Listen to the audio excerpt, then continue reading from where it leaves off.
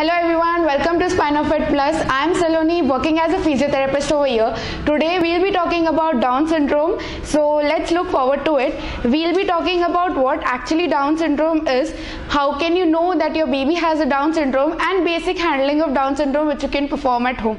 So we'll start with it. So we all know that Down syndrome is trisomy 21 that is also known as floppy baby syndrome. It is usually found in males and is dominant by females in genetics.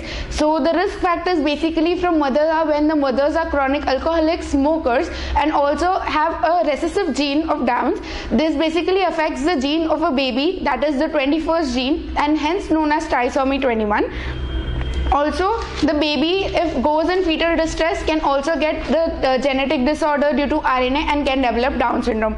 Coming to how do you know that your baby has down syndrome there are some physical appearance features which you can know and see in the baby and know that the baby is suffering from down syndrome.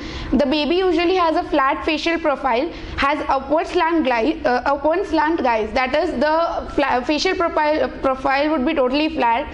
The uh, gaze of the baby would always be towards up.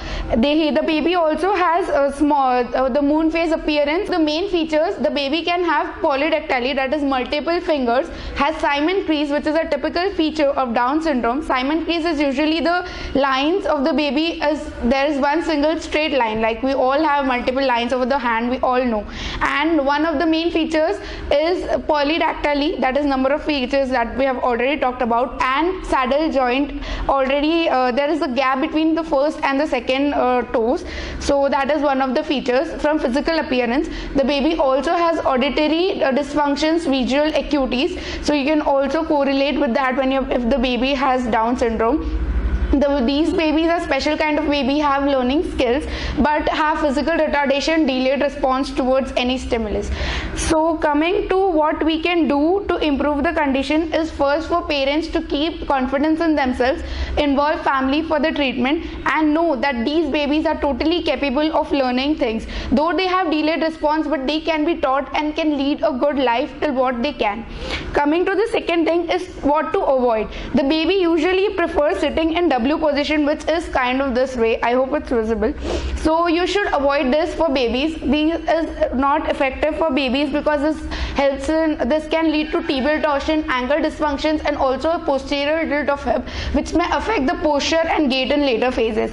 So you should avoid as a parent you may definitely want your baby to sit so you may pull the baby upward so that he can balance his neck but as they do not have neck control they tend to fall back which can cause excessive neck extension, subluxation of joint because of joint laxity which is very prone in Downs babies because they have a joint laxity condition.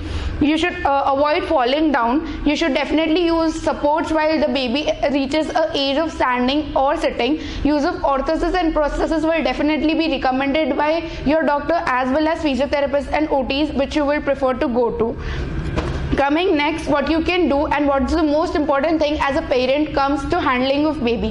So usually parents handle their baby this way or this way which is really wrong for downs babies. When the baby wants to sit you should definitely when you take your baby you should definitely handle in a way where you keep your hands below the knees and the chest. You support your chest for the back of the baby. Usually these babies are floppy babies that is they tend to fall like this. So whenever you make them sit make sure your lap has a good space and your chest supports the back of the baby though how big baby is. And the legs straight as the baby is small and if he grows you can keep him this way that is flexing of knees or folding of knees over the floor to develop the support. And this can also lead uh, help the baby with developing support.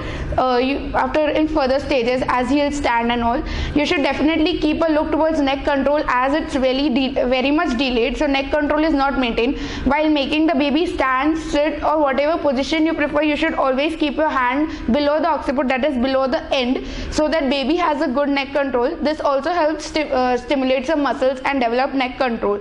So as as for home treatment you can follow that coming to next is the stimulatory effects which can follow for Down's babies. Uh, now Down's baby have two stimulations that some babies can be hyperactive, some can be hyperactive. How to know that your baby is hypo or hyperactive are some of my suggestions which you can follow. For a hyperactive baby, the baby wouldn't like multiple touches. For a mother's touch of love, he'll be very happy. But for multiple touches of multiple people at the same time, the baby wouldn't like. The baby would get violent and cry. For some foods, he may react for crunchy foods and spicy food the baby can react violently cannot gulp the food can vomit the food back. So you can know the baby is very hypoactive. For a hypoactive baby as a treatment you can start with heavy joint compressions.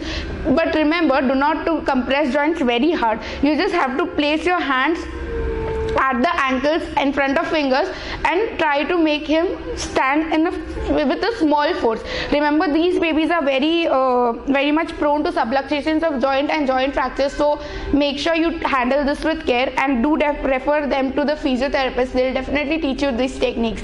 So coming to next if your baby is hyperactive for hyperactive baby the baby would love to eat crunchy foods and different tastes of foods. The baby would love uh, special the baby would keep smiling for uh, uh, different uh, different touches and would love different touches. So for a hyper, hyperactive baby you can calm him down. You can for calming your baby you can act, uh, apply the techniques of rolling which i am doing now rolling uh, continuously can help your baby calm down. This can also calm the muscles which are basically involved with the hyperactive baby. This also stimulates the muscles of back to calm down your baby. You can also apply the second technique is uh, making the baby lie prone running your hand from occiput to the back that is from head to the back and taking 5 to 7 strokes.